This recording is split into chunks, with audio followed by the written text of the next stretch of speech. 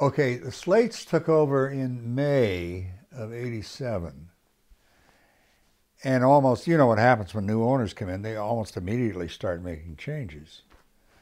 And some of the guys, the, the weekend guys, you know, gone, and then this guy's gone, and she's gone. And, and you kind of saw the handwriting on the wall because they wanted to change to goose up the show.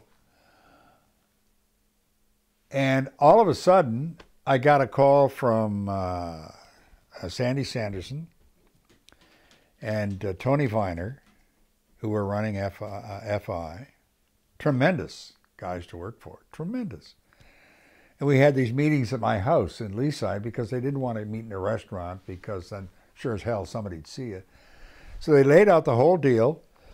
Excuse me. They laid out the whole deal uh, financially, bonuses, all of that stuff. So I gave my notice on the Labor Day weekend and started there. Oh, and then I couldn't start till December 1st. They, they, uh, Slaights put a thing on it. In fact, uh, FI wanted me to be in the Santa Claus parade, and I couldn't. I couldn't make any. They couldn't even announce I was coming. So I started December 1st or 2nd. I can't remember. I guess it was the 1st. And uh, it just, it was, it just happened. It was just, just, just happened.